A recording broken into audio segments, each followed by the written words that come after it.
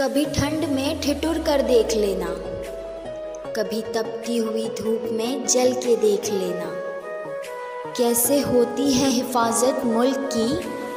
कि कैसे होती है हिफाजत मुल्क की? कभी सरहद पर चल के देख लेना। जय हिंद।